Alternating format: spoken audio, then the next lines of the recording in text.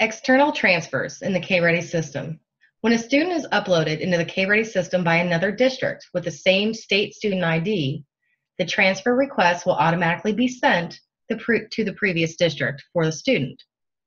For transfers, select your transfers, and you will see requests from others, and you will see whether you want to approve or decline the transfer.